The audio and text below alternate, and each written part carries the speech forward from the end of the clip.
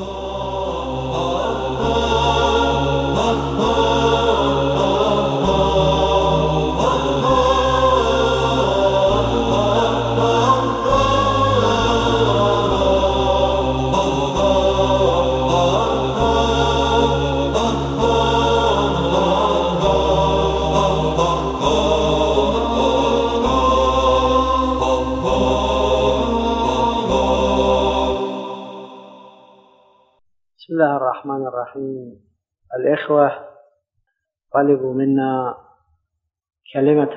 ثانية بالنسبة إلى هؤلاء الطلائع المؤمنة الذين حضروا هنا بعد تشرفهم إلى مدينة قم المقدسة والتي عبرت فيها في الروايات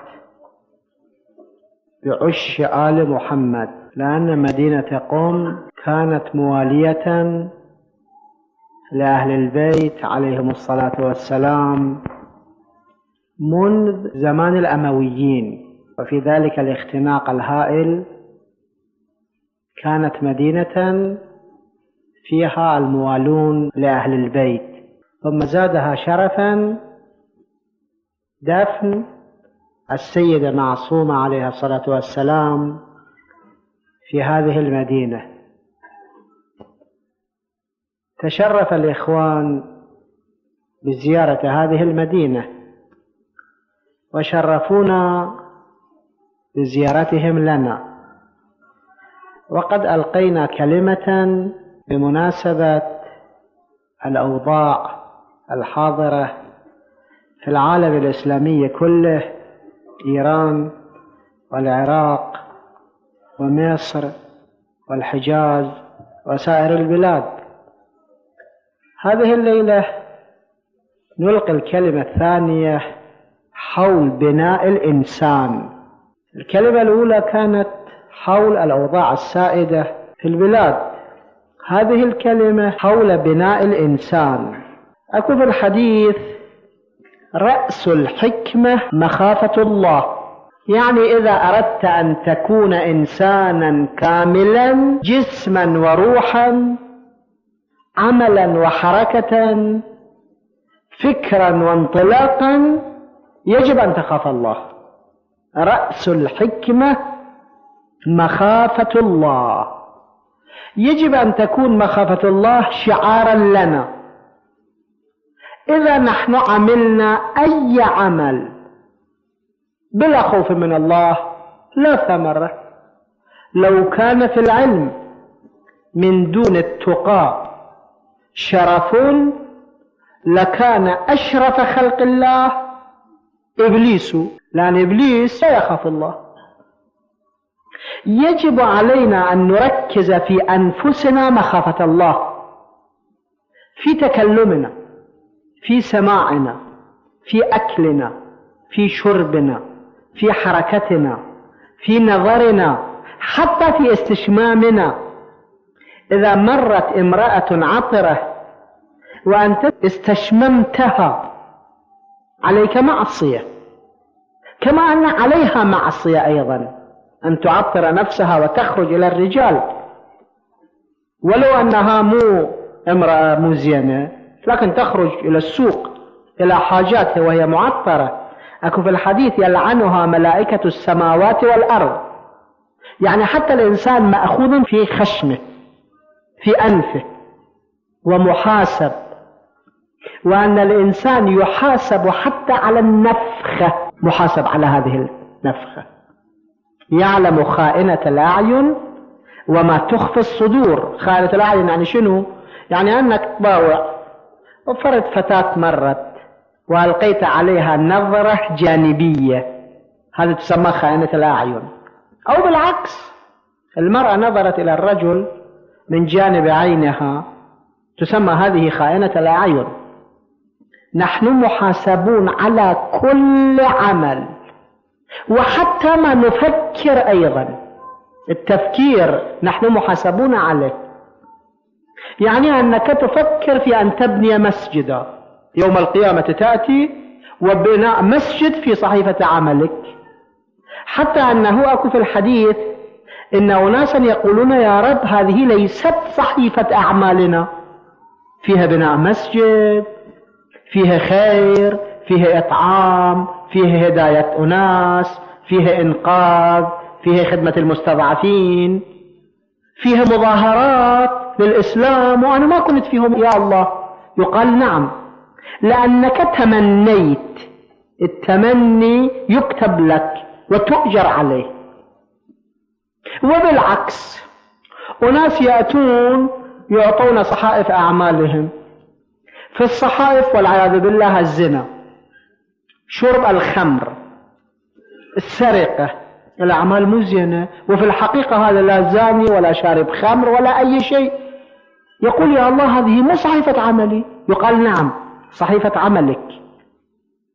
لأنك فكرت في الدنيا أن لو كنت تقدر. هذا هو مكتوب في صحيفة عملك.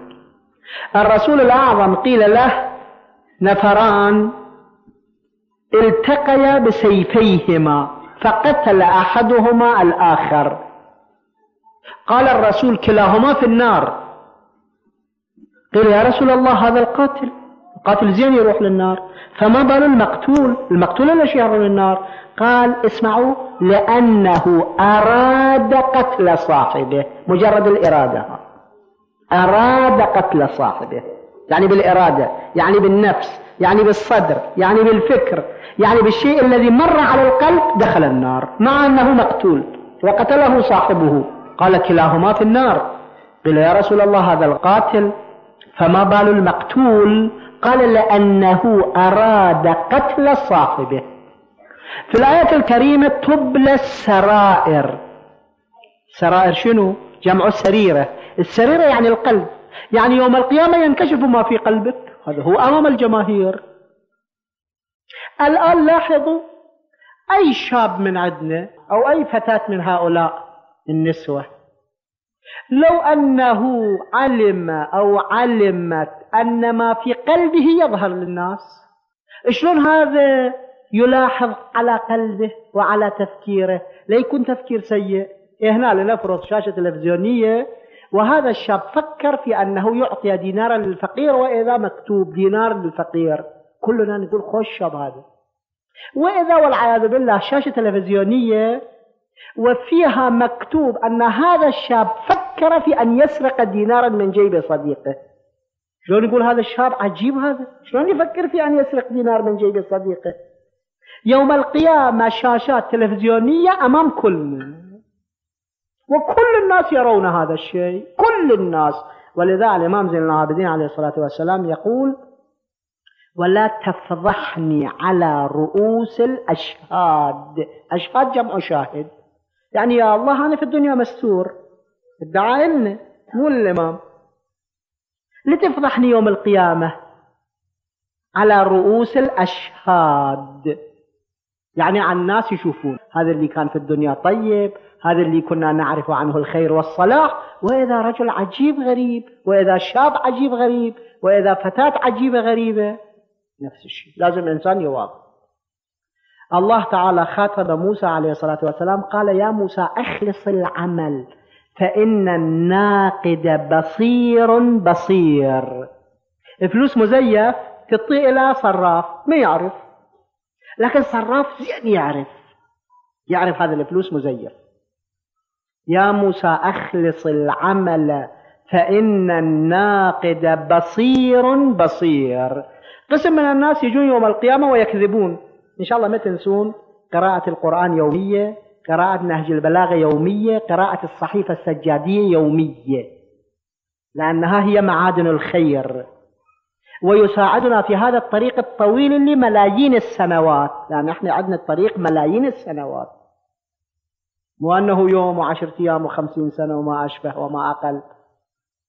قسم من الناس يأتون يوم القيامة حتى نحسب حسابنا. وهؤلاء يكذبون على الله. يقولون لا هذا كذب. الله في سورة ياسين اليوم نختم على أفواههم وتكلمنا أيديهم وتشهد أرجلهم. الرجل تقول تتكلم اليد تتكلم. وحتى أكو في آية أخرى وقالوا لجلودهم لما شهدتم علينا. جلودهم يعني شنو؟ يعني عوراتهم. وقالوا لجلودهم الزنات يأتون يوم القيامة وعوراتهم تشهد عليهم وتنطق. يخجل هو يقول لا أنا ما كنت لكنه جلده يتكلم يقول صحيح هذا.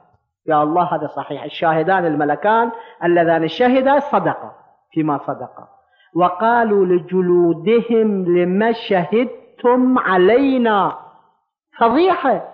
هسه يقال فلان سارق فضيحة. يقال فلان رايح على القمار فضيحة. لكن يقال فلان زاني والعياذ بالله هذا أفضح الفضائح. وقالوا لجلودهم لما شهدتم علينا؟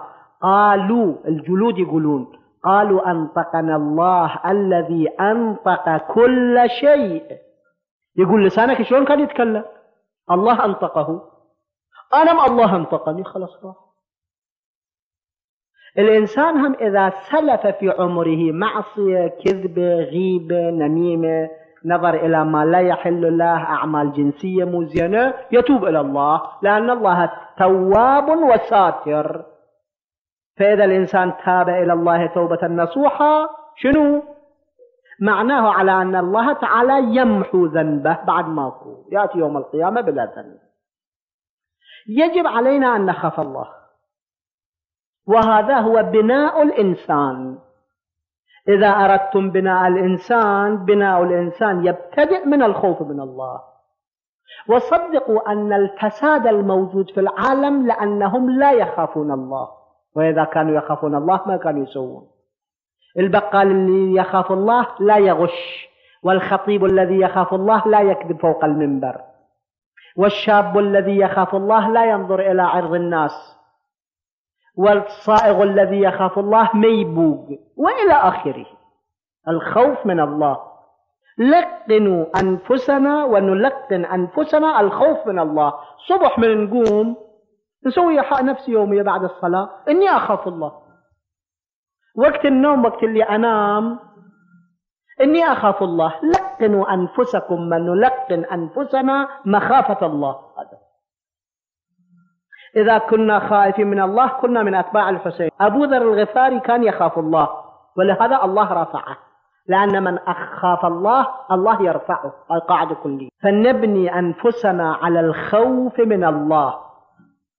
هذا موضوع طويل وإن شاء الله في دروسكم يجب أن تكون هذا الشيء في المستقبل. دروس الكتب المكتوبة في هذه الشؤون مثل جامع السعادات أو كتب ما أشبه. كتب المرتبطة بالخوف من الله. مجلد من البحار يسمى مواعظ البحار. هذا مواعظ الله لأنبيائه مواعظ الرسول مواعظ علي. إلى الإمام المهدي عليه الصلاة والسلام. هذا أيضا كتاب جدا جميل. تحف العقول أيضا كتاب جميل. مجموعة ورام كتاب جميل. هذه الكتب تنمي في الإنسان روح الخوف من الله وروح الاستقامة. هذا موضوع. البناء الذاتي في الإنسان يبتدئ من الخوف من الله. وقلنا لقنوا أنفسكم خوف الله. صبح من قمت إذا قمت من منامك قل إني أخاف الله. لقن نفسك تلقين وفي الليل الآن تريدون تنامون بعد ساعة أو أقل أو أكثر قولوا إني أخاف الله. لقن نفسك وحقيقة تخاف الله. وإذا خفت الله تعالى استقامت كل أمورك. وإذا استقامت أمورك أحبك الناس. وإذا استقامت أمورك لأن الناس لا يحبون الخائن المنافق المشرك الفاسق الزاني شارب الخمر اللائط المقامر السارق الغاش. خوف من الله يسبب رفع كل هذه الأمور. الناس أحبوك يحبونك. والله يقول في القرآن الحكيم لموسى وألقيت عليك محبة مني. يعني الناس يحبوك يا موسى. شوف إحنا من بعد 1400 سنة نحب حبيبنا مظاهر الأسدي. وحبيبنا مظاهر شايب في الكوفة نفوسها أربع ملايين ومات وقتل. الوش نحبه؟ لأنه كان على الطريقة المستقيمة لأنه كان يخاف الله. فإذا خفت من الله حصلت على الدنيا. عفلق هذا الرجل الكافر بالله واليوم الآخر والمجرم. عميل الاستعمار يقول في كتاب الله يقول المسلمون لما كانوا ينظرون إلى السماء ملكوا الأرض. ولما انصرفت أنظارهم عن السماء فقدوا الأرض. يقول لما كانوا يخافون الله هذول ملكوا الأرض لأن الله أعطاهم. لما لما صارت فكرتهم في الأرض وصاروا قوميين شيوعيين بعثيين ديمقراطيين غربيين حتى الأرض فقدوها. بالفعل فقدنا الأرض. مو يعني أرض فلسطين أرض كل البلاد الإسلامية فقدناها التي يحكمها الكفار أو عملاؤهم. هذا موضوع وهذا موضوع طويل عريض قلت الواجب علينا جميعا أن نلاحظ هذا الشيء في الكتب ونقرأه. ونتعلمه ونعلمه ونلقن أنفسنا. الشيء الثاني عليكم بالبساطة في الحياة. الحياة ما تسوى الأكل العالي والشرب الكذائي والمنام الكذائي والسيارة الكذائية. إنسان يجب أن يكون بسيط في الحياة. شنو تأكل؟ أي شيء. مو مهم. خبز. آكل ويا فجل. أو خبز آكل ويا ملح أو خبز يابس آكل أو تمن آكل. مو مهم. أكو فرد واحد من شعراء إيران كلش هذا شاعر مهم بابا طاهر اللور. عنده ديوان وما أجمل ديوانه. يقول بقبرستون گذر کردم کم و بیش بدیدم قبر دولتمند و درویش. نه درویش بی کفن افتاده بر خاک نه دولتمند برده یک کفن بیش. ما أروعه من شعر. يقول رحت إلى المقبرة. شفت قبر الأثرياء وقبر الفقراء لا الأثرياء أخذوا من الحياة أكثر من كفن ولا الفقراء سقطوا في قبورهم بلا كفن حياة خلقة الصغير إنسان يجب أن يتعلم البساطة في الحياة بساطة في الأكل بساطة في الشرب بساطة في النوم. قسم من الناس يقولون أنا لازم إلا ساعة ثمانية أنام. أي لزوم يا عمي يا أخي يا أختي؟ أي وقت صار؟ البساطة في الحياة البساطة في الأكل البساطة في الشرب البساطة في السفر. كان عندنا فرد عالم جدا كبير وأنتم سامعون باسمه الشيخ أبو زرق الطهراني الله يرحمه. هذا الرجل كان يأتي إلى كربلاء يروح إلى مسجد السهلة من النجف الأشرف من كربلاء يرجع إلى النجف. والشايب عمره تسعين سنة وأنا شايف هذا الرجل. مجسمة الزهد والعلم والفضيلة والتقوى والتأليف والقلم. أحيانا ماكو مكان في داخل هالسيارة الكبار يصعد فوق السيارة يركب. بسيط في الحياة. ويقول أنا أريد أصل للنجف هسه شنو مهم؟ هنا أقعد فوق السيارة. وانتهى الأمر الناس يباعون خلي يباعون مش مهم وأمثلة البساطة كثيرة. الإنسان يجب أن يتعلم في الحياة البساطة. إذا تمكنت من شيء زين لا بأس أما إذا ما تمكنت من شيء حسن أنت عادي. شايفين الفلاحين شلون بسطاء؟ شايفين العمال شلون بسطاء؟ الرسول الأعظم صلى الله عليه وآله وسلم أخذ يد عامل وقال إن هذه يد يحبها الله لأنها كانت خشن. إن هذه يد يحبها الله. الإنسان يجب أن يتعلم البساطة في الحياة. الرسول الأعظم يا شباب ويا أخوات وأنتم رسل. ما أقول لكم لسماعكم وإنما لأن تكونوا رسل. الرسول الأعظم زوج بنته فاطمة الزهراء سيدة نساء العالمين. بعلي أمير المؤمنين سيد الأوصياء والثاني شخصية بعد الرسول في العالم. تدرون المهر إيش كثر؟ 36 درهم. رواية صحيحة في الكافي. 36 درهم يعني إيش كثر؟ يعني 16 مثقال فضة فقط.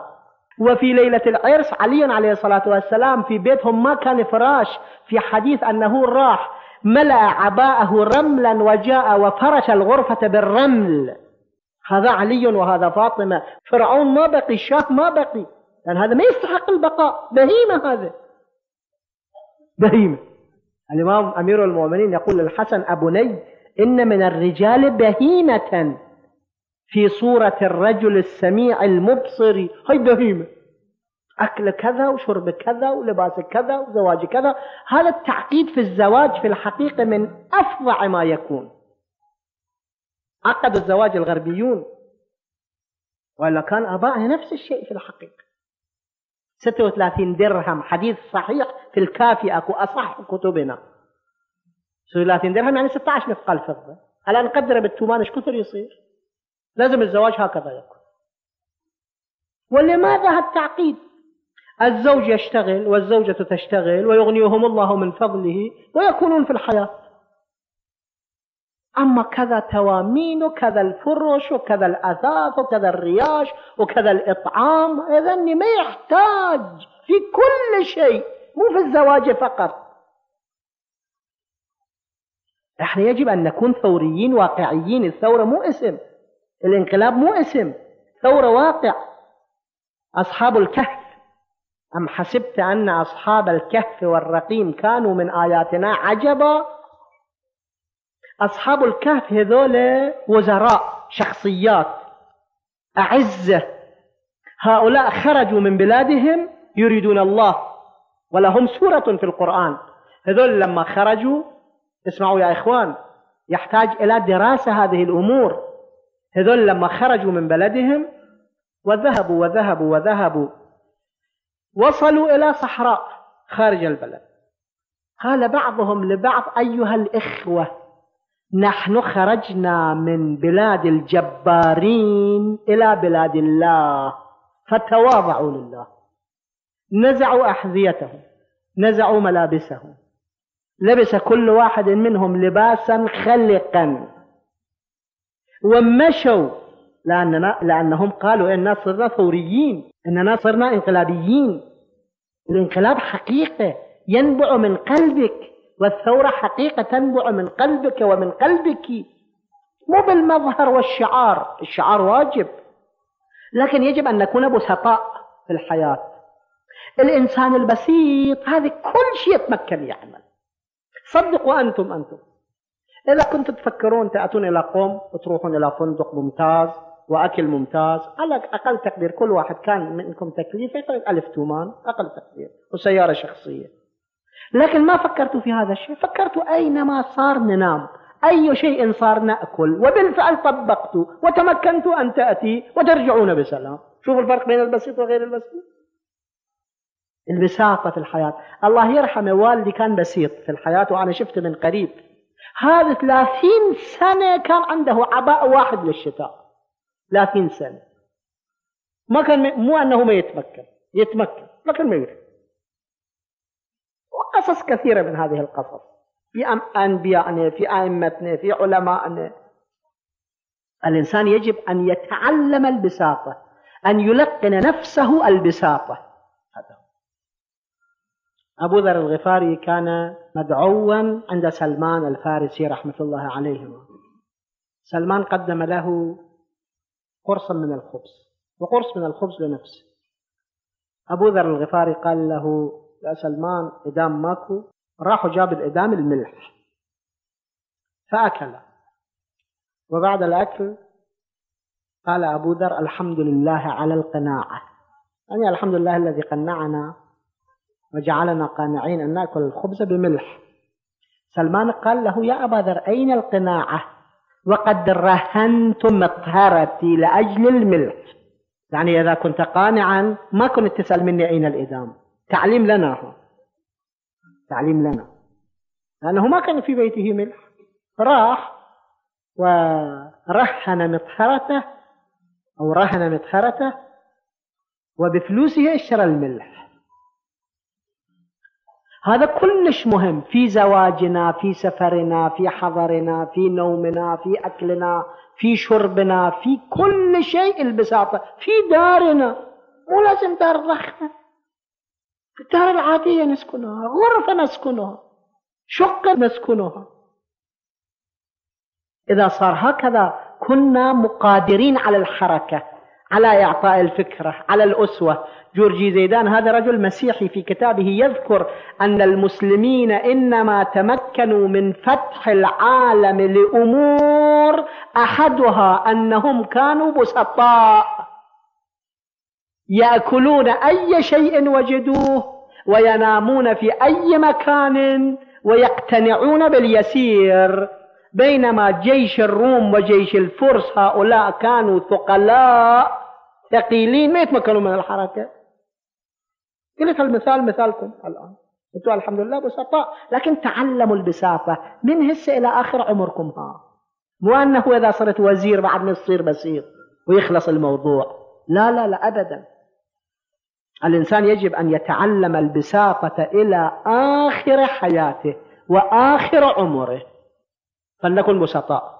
خائفين من الله أولا البساطة ثانيا. الشيء الثالث نختم الموضوع بهذا الشيء وهو أن يكون الإنسان عاملا ليل نهار إلى كم؟ إلى خمسين سنة. إن شاء الله تعيشون خمسين سنة. إحنا بعد من عمرنا مو معلوم. سنة شهر ساعة أكثر الفروض فرق خمس ست سنوات عشر سنوات. كونوا عاملين. لله. أن تقوموا في القرآن الحكيم. الله يقول أن تقوموا لله. مو أنه ليمدحوكم. عندنا صديق الآن موجود في العراق أظن في بغداد أو في كربلاء ما أدري. عنده منصب رفيع كان في الدولة. مدير عام كان ذاك الوقت لوزارة المعارف هذا كان يأتي إلى بيتك. أنا شايف هذا الرجل. وهو مدير عام للتعليم العالي في كل العراق. يشوف شوية وساخة أكو في بيتك. ينظر حتى أنت تروح تجيب لك شاي هذا يكنسه. مو إلك مو يقول لك. أو يشوف فرد جامه هنا ساقط في بيتك. وقت اللي يطلع من البيت يوصي فرد واحد أبو الجامات روح خلي فرد جامه هنا ولا تقول أنا فلان وصيتك. كل فرد صديق. حب العمل حب الاشتغال. ليل نهار إنسان يشتغل. لله للناس. قرة إلى الله تعالى. شغل شغل دائم. مو رياء مو سمعة مو كبرا. لا لله. شفت أنه صديقك نايم وما عليه بطانية؟ أفرش عليه بطانية. ومو لازم تقول له أبدا. إذا قلت له معناه أنك بطلت عملك. إنسان لازم يعمل لله. والليل نهار لخير عباد الله. خير الناس من نفع الناس. الرسول الأعظم يقول خيركم خيركم لأهله. الإنسان لازم يكون دائما عامل. وأنقل لكم قصة قصيرة أخيرا. ونختم المجلس. أصبغ بن نباتة هذا من أنصار علي عليه الصلاة والسلام. يقول الإمام كان يجتهد. ثم بعد ذلك يخرج لبعض الناس ولصلاة المغرب والعشاء. أصبغ يقول في أيام الإمام هكذا تنقضي وتبتدئ أيام الإمام من قبل بلوغه وإلى يوم قتله. إذا تجمع الأحاديث الإمام من قبل بلوغه مع رسول الله هكذا. وإلى أن صار إمبراطور للعالم الإسلامي يعني خليفة ظاهريا وأن ينفذ في خمسين دولة إسلامية. وأكلهم معروف شنو؟ أكل خبز وملح خبز وحليب خبز أحيانا يعني أحيانا هكذا أحيانا هكذا أحيانا هكذا. وخال أحيانا خبز ودوغ يعني لبن دوغ لبن. مو حليب وفي تفاصيل معروفة عند جميعكم. يقول فرد ليلة ذهبنا مع الإمام بعد يوم طويل إلى البيت. الإمام راح في الغرفة الفوقية نام مثل هالغرفة. وأنا نمت في ساحة البيت. اسمعوا هالقصة. نسمعها ونطبقها حتى نكون من شيعة الإمام.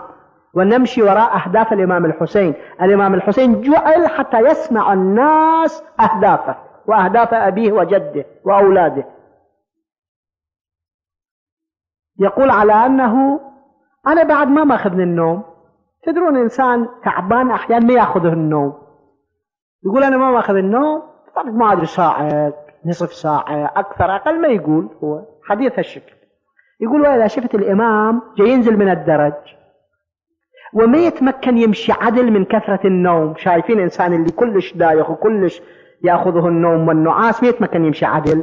يقول فالإمام يتكي على الحائط وشوية منكس يعني شوية على أنه ما يتمكن يستقيم في مشيه وفي نزوله. ويجي ينزل من الدرج ويتكي على الحائط. يقول أنا لبالي إمام عنده شغل. قلت قلت يا أمير المؤمنين ألك حاجة شيء شغل مثلا. قال يا أصغر الله أريد أصلي. شنو يا أمير المؤمنين؟ صلاة الليل لا تنسوا يا شباب. صلاة الليل تسبب سعة الرزق تقدم الأمر. قيل للإمام الصادق يا ابن رسول الله نرى الذين يصلون في الليل وجوههم كالقمر. قال ولماذا لا يكونون وقد اختلوا بالله؟ إن شاء الله من هالليلة صلوا صلاة الليل إن شاء الله. 11 ركعة مو شيء خمس مرات مثل صلاة الصبح وركعة واحدة كل سبع دقائق عشر دقائق 15 دقيقة. إن شاء الله تصلون من هالليل صلاة الليل. قال الإمام أريد صلاة الليل. أريد أصلي. يا أمير المؤمنين ما نمت. بعد أنا مو نايم. بين ساعة؟ نصف ساعة. ما أدري إيش كثر. ساعة ونص. قال له الإمام كلمة. ذكروا هذه الكلمة. إن شاء الله تذكرون هذه الليلة الكلمات الثلاث. الخوف من الله البساطة في الحياة وهذه كلمة الإمام. خلوها في أذهانكم. قال يا أصبغ لا أتمكن من النوم. مضمون كلام الإمام. لا أتمكن من النوم مضمون كلام الإمام. لكن القطعة الثانية كلام الإمام. يا أصبغ إن نمت النهار ضيعت رعيتي. وإن نمت الليل ضيعت نفسي. حقيقة يا لها من كلمة يجب أن تكون في كل بيت من بيوتنا. لا يجب أن تكون. يا أصبغ إن نمت النهار ضيعت رعيتي وإن نمت الليل ضيعت نفسي. العمل الدائم لخير المسلمين. أي عمل أي لون من العمل حتى تكنس الشارع حسن هذا. وهذا ارتفاع لك مو تنقيص العمل شريف مهما كان. نسأل الله سبحانه وتعالى أن يوفقنا جميعا لأن نخاف الله رأس الحكمة مخافة الله وأن نكون بسطاء. وفي الحديث أكو في صفة المؤمن خفيف المؤونة. خفيف المؤونة يعني بسيط. هذا الشيء الثاني. والشيء الثالث العمل الدائب الدائم حتى يأتيك اليقين. يقين يعني شنو؟ يعني الموت. نسأل الله سبحانه وتعالى لنا ولكم كل خير وتقدم وازدهار وأن ينجي البلاد الإسلامية عامة من الطواغيت وأن يسقط حكومة البعث في العراق.